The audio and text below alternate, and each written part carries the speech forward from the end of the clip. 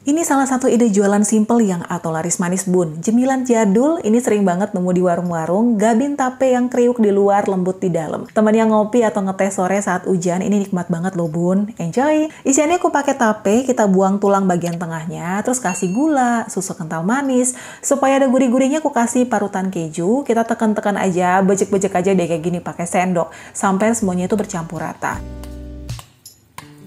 Nah, kalau udah rata kayak gini, tinggal kita siapin gabin atau pakai malkis crackers juga bisa.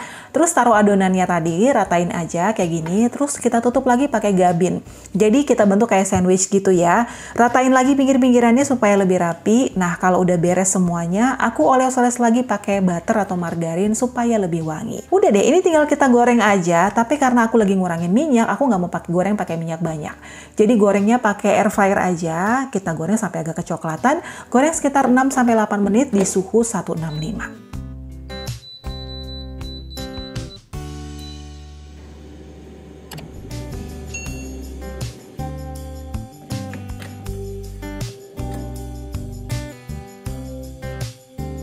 Iya bun, ini cemilan jadul, sering banget nemu di warung-warung kan. Tapi asli ini lebih enak sih dari yang biasa aku beli. Gabin tape yang kriuk di luar, lembut di dalam. Temen yang ngopi atau ngetes sore saat hujan itu enak banget bun. Cobain ya, enjoy. Air fryernya aku pakai Ideal Life, ini alat masak yang recommended banget. Masak-masak dengan Ideal Life jadi makin praktis dan mudah. Kalau mau cek harganya nanti aku taruh linknya ya di deskripsi. Yang mau bikin di rumah, ini dia bahan-bahannya.